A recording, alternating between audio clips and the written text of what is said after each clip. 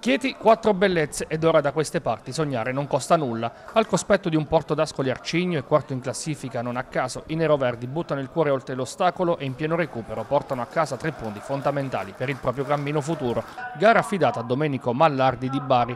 Prima parte di gara di studio tra le due squadre, ma a farsi preferire il Chieti che si fa vedere dalle parti di testa al dodicesimo con una girata di testa di Orlando da centro area con la sfera che termina al lato. Qualche minuto più tardi ci prova anche Fabrizi con una conclusione delle sue, ma per lui questa volta la mira non è precisa. I teatini provano ad approfittare di questo momento e chiudono la formazione marchigiana nella propria metà campo. L'episodio a favore dei neroverdi che sblocca il parziale al ventesimo. Calcio di punizione di Mariani, scodellato in mezzo, il tiro di Mele viene ribattuto con il braccio da D'Alessandro e per il direttore di gara nessun dubbio nell'indicare il dischetto tra le timide potesse degli arancioni ospiti.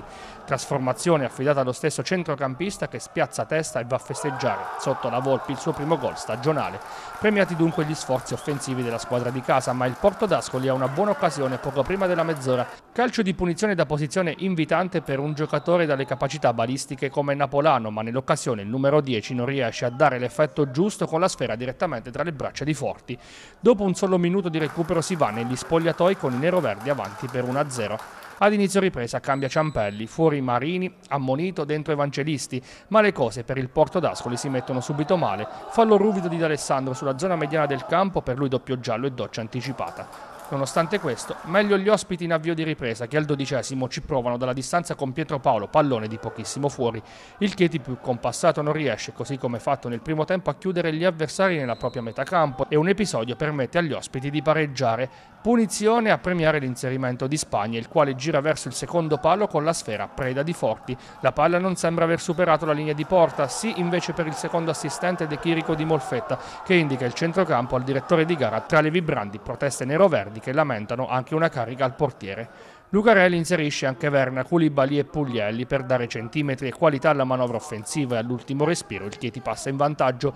Pietrantonio dalla sinistra pesca sul secondo palo proprio Puglielli che irrompe di testa e mette le spalle di testa. Festeggiano i tifosi in tribuna mentre sul campo si accende una mischia tra le due panchine a farne le spese Napolano da una parte e mister Lucarelli dall'altra. Alla ripresa del gioco Porto d'Ascoli rimane addirittura in 9 per l'espulsione di Rossi reo di aver centrato con una gomitata Orlando. Al termine dell'extra recupero gioia grande in casa neroverde che con questi tre punti vede ora distante la zona playoff lontana soltanto due lunghezze. Finale amaro per il Porto d'Ascoli che già pregustava il pareggio e invece torna a casa a mani vuote. Tre punti eh, arrivati all'ultimo respiro che eh, paradossalmente eh, un, un girone fa non sarebbero mai arrivati. Come ve lo spiegate? Il Chieti è cambiato. Ma il Chieti non è cambiato, ripeto, cioè, noi sapevamo della, della, nostra forza, sapevamo del nostro lavoro e siamo stati tranquilli, quindi questa è stata la nostra forza, rimanere tranquilli, rimanere tutti uniti dal, dalla società, dal presidente, dal patron fino al magazziniere, siamo rimasti uniti, sapevamo che stavamo facendo bene, che magari qualche risultato non stava arrivando, però questo, quella era la strada giusta e adesso si sta vedendo. Ma penso che la prestazione è stata buona, ma buona da parte di tutti. Quando si vince eh, vuol dire che si fa qualcosa di, di importante, siamo contenti, siamo contenti tutti. Io faccio un plauso a chi è entrato perché chi magari sta giocando un po' meno e ha fatto, oggi ha dato, la, ha dato, la, ha dato giusta, il giusto valore a quello che, che, che, fa in allenamento e quindi noi dobbiamo continuare così. Quattro vittorie consecutive, chiedi che a tre punti dalla zona playoff qual è il prossimo obiettivo?